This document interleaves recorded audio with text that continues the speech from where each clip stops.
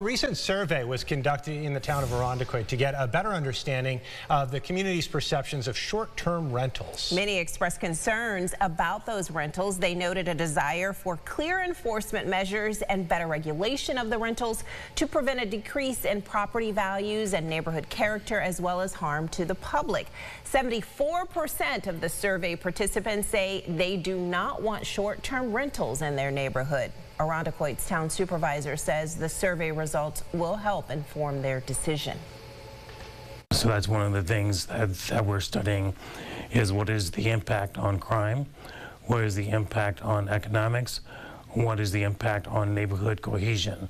So all those things are being considered uh, in, the, in the survey. Supervisor Evans adds a public hearing will be held next Tuesday, November 19th, so Irondequoit residents can speak directly to the town board.